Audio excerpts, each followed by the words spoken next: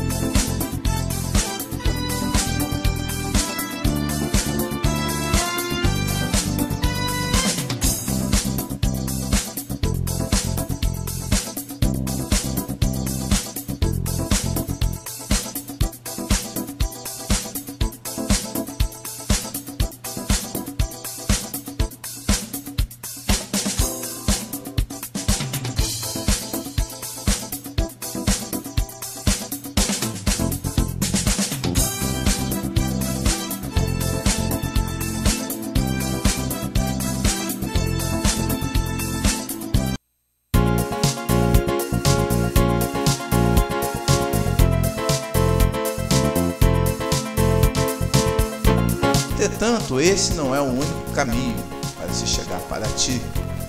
Também pode se ver uma outra opção, e essa outra opção é através da rodovia. Essa rodovia leva também até Paraty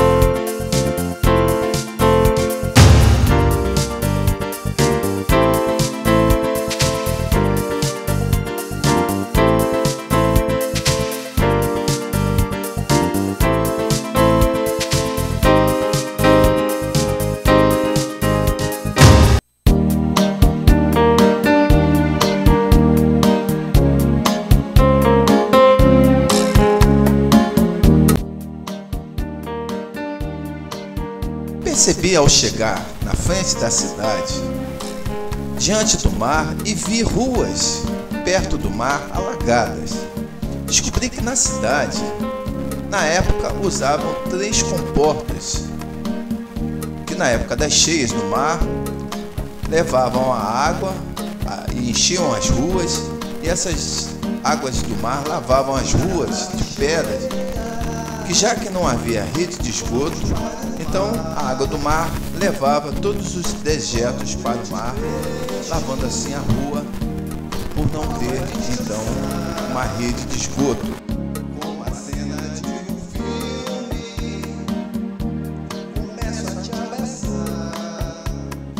Segundo consta a história, no século XVI, quando os europeus chegaram aqui a essa região de Paraty, esta região, então, como eu disse, era, era habitada pelos índios. Os portugueses, segundo a história, também já conheciam a trilha que foi aberta pelos Guaianás, a trilha do Guaianás conhecida, que ligava as praias de Paraty, aqui de Paraty, ao Vale do Paraíba.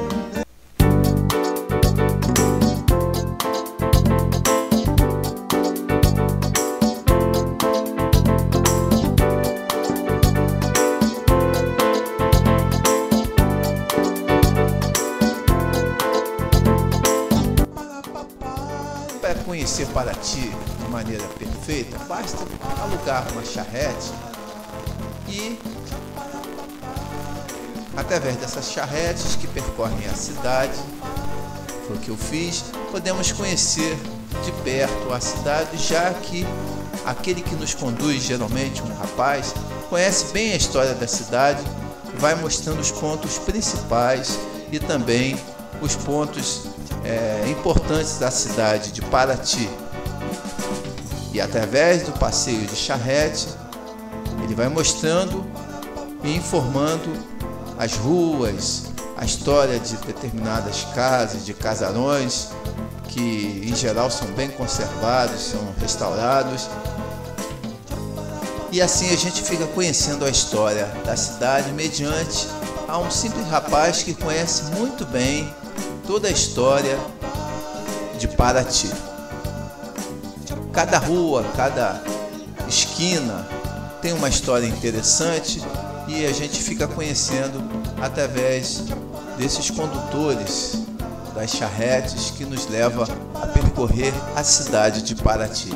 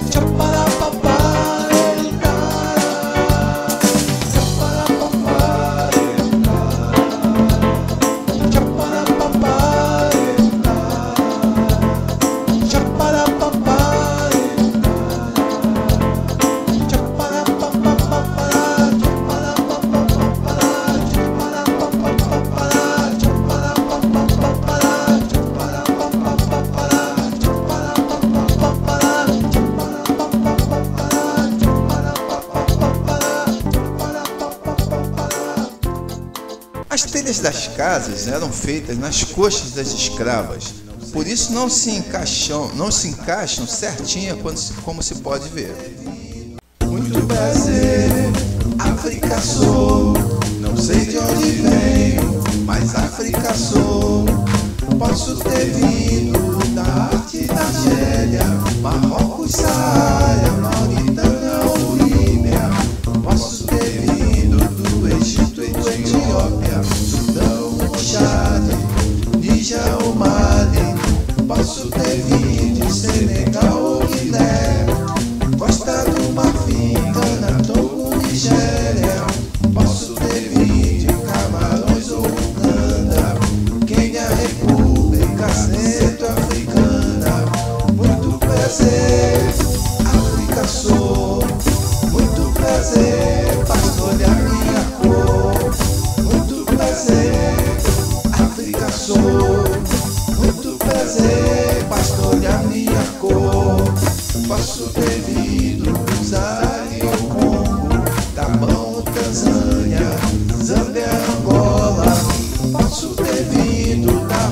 Rodésia, Moçambique,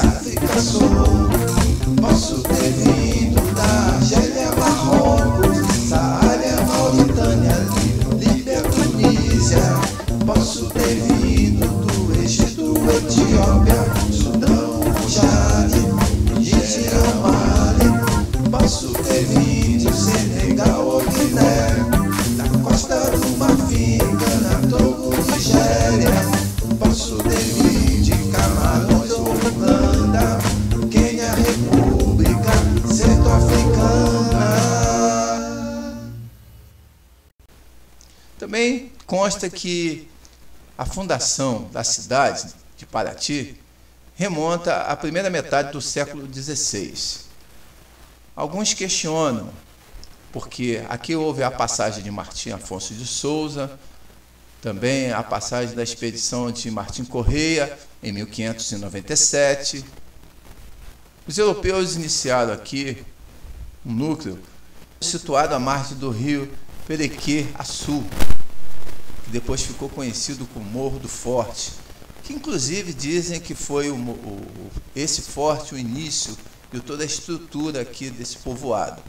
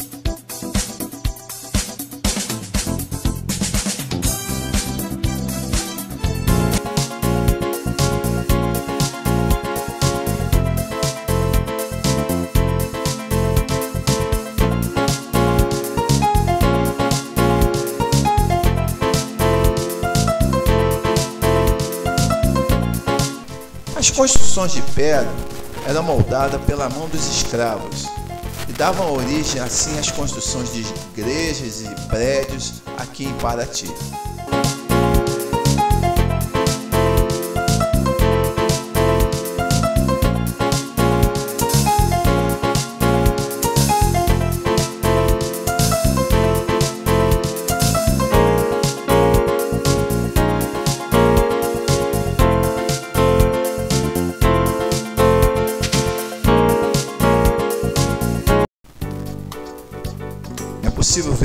Mercado de escravos, também onde guardava o café e o açúcar. Esse era o antigo quartel-general da Patatiba, onde ficavam os soldados portugueses.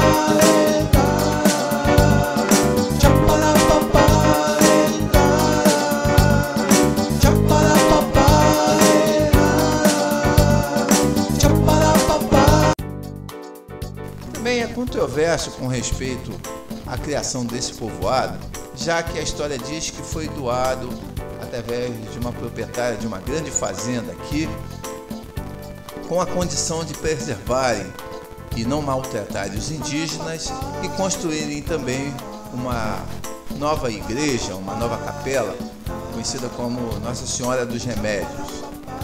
E segundo a história, a igreja foi construída, está até hoje lá, porém os índios foram quase que totalmente dizimados aqui nessa região.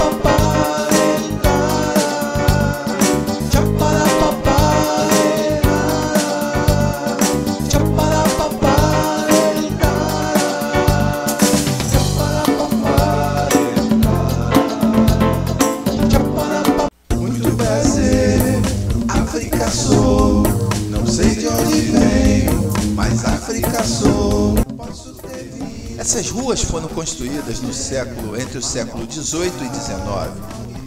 E essas ruas que podemos ver, quem anda por elas podem perceber que essas pedras são irregulares.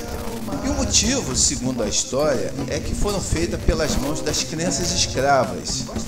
Por isso são conhecidas por pé de moleque. Muito prazer, África sou. Não sei de onde venho, mas África sou. Posso ter vindo da arte da Argélia, Marrocos, Saara, Mauritânia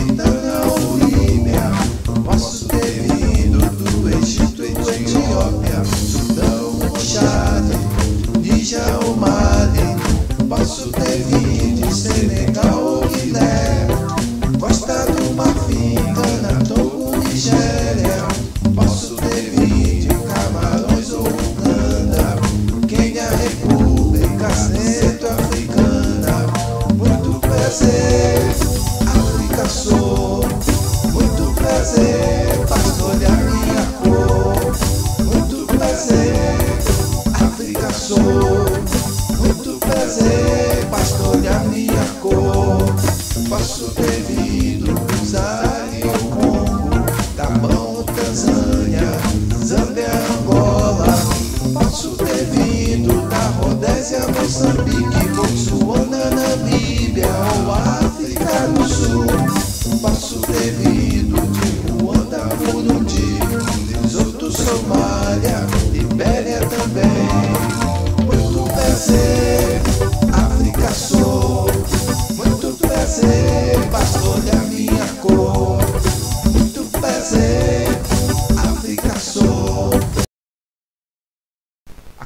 São Roque, segundo o que dizem, foi a primeira construção aqui nessa região. A beira do mar, segundo também consta a história, era que localizava-se então a aldeia dos Guaianais.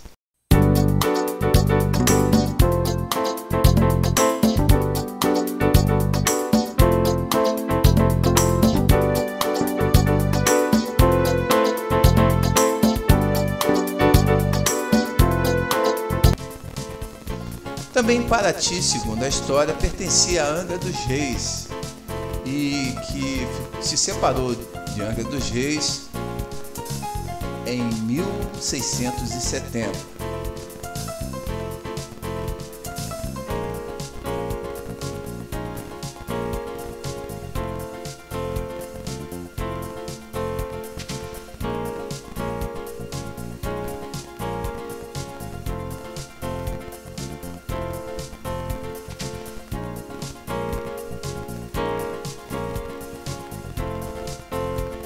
Também com a intensificação da descoberta do ouro em Minas, ou seja, Minas Gerais tem um papel importante aqui nessa cidade de Paraty, já que foi parte do transporte, essa cidade fez parte do transporte do ouro que saía de Minas e ia para os países do exterior.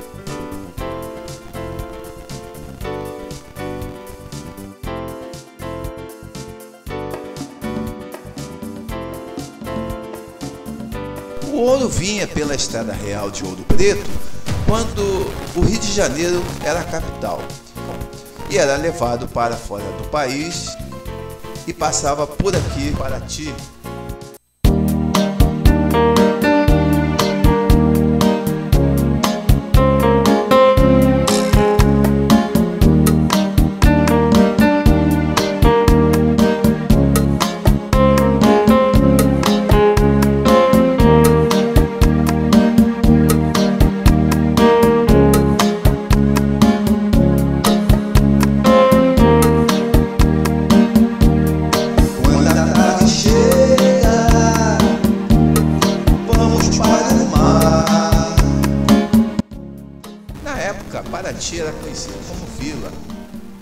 e houve um impacto muito forte na, no movimento da cidade devido a novos caminhos que foram e novas opções que foram surgindo para o transporte do ouro.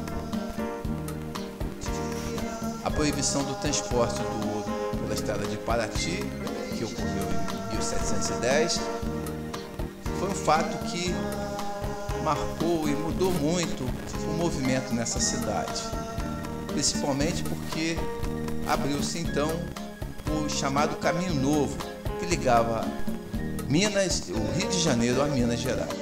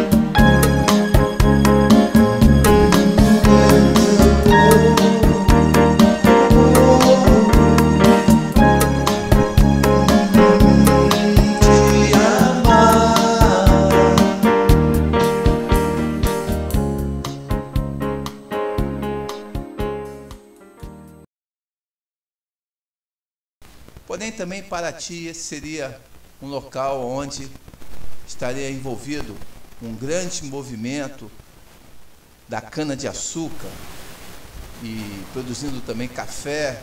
O açúcar e o café eram pontos importantes nessa região. Inclusive, não só esses dois produtos, como a própria cachaça também, que era uma produção artesanal que perdura inclusive até os nossos dias. Quem visita Paraty e as regiões próximas podem ver a produção da cachaça de modo artesanal, ainda atuando de maneira normal nos nossos dias em Paraty. Muito prazer, África sou, não sei de onde venho, mas África sou. Posso ter vindo da arte da Argélia, Marrocos, Saara,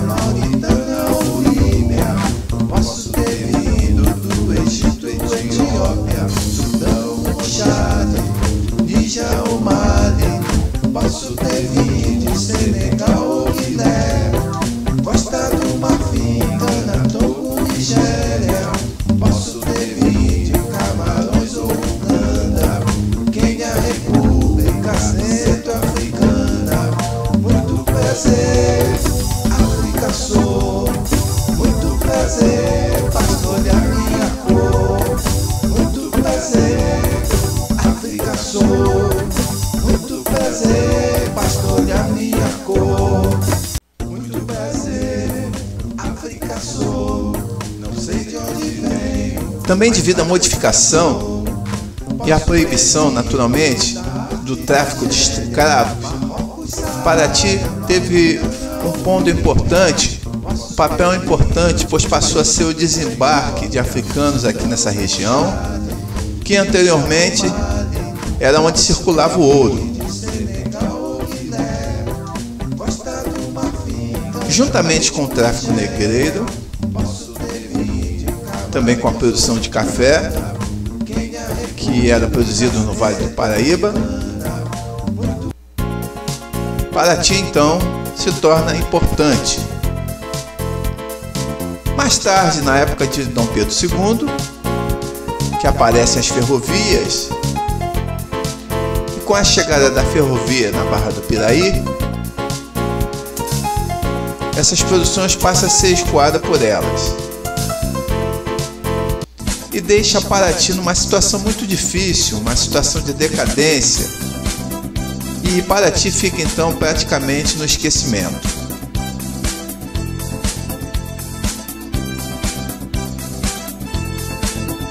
Porém, em 1964, Paraty é novamente redescoberta.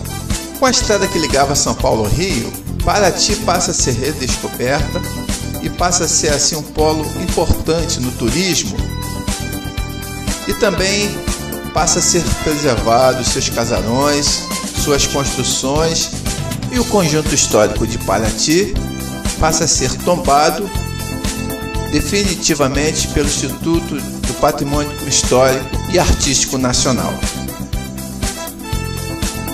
E assim o turismo cresceu muito nessa região, principalmente com a abertura da BR-101 a Rio Santos, que aconteceu em 1973. Sendo assim, Paraty passa a ser um local muito visitado pelos turistas, principalmente porque a cidade foi preservada e aqui eles sabem que vão encontrar muitos pontos preservados, casarões, as ruas. A cidade então passa a ser o segundo polo turístico do Rio de Janeiro. Isso é muito importante. E é importante que Paraty continue a ser preservado, porque é um lugar muito importante no turismo aqui no Rio de Janeiro.